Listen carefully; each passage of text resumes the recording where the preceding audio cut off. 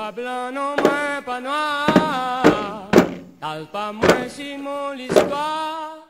Je m'appelle Captain Rémi et je viens de réaliser un de mes rêves, traverser l'île de la Réunion à pied.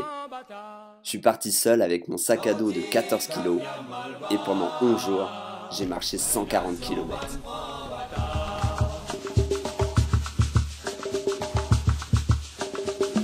La marche a commencé au nord de l'île à Saint-Denis et j'ai suivi comme sentier de randonnée le GRR2.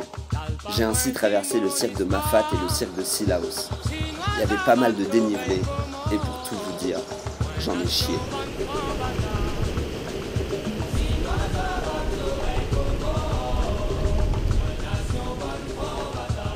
Mais c'est ça aussi la marche. C'est manger du kilomètre pour se sentir vivant. C'est surmonter ses douleurs parce qu'on n'a pas le choix. C'est se retrouver perdu au milieu de paysages féeriques et se sentir seul au monde.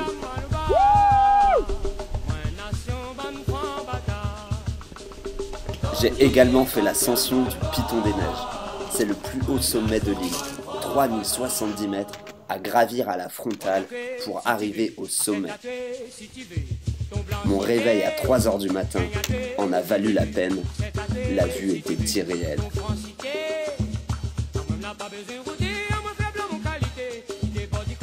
Et j'ai terminé ma randonnée par le piton de la fournaise. Des décors lunaires, l'impression d'être sur une autre planète.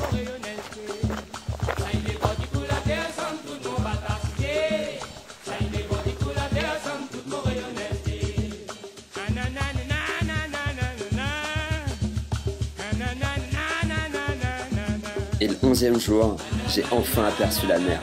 Ça signifiait que c'était la fin. Quelle fierté d'avoir relevé ce défi malgré mes craintes. Quelle fierté d'avoir marché seul pour la première fois. Et quelle fierté d'avoir parcouru la Réunion à pied.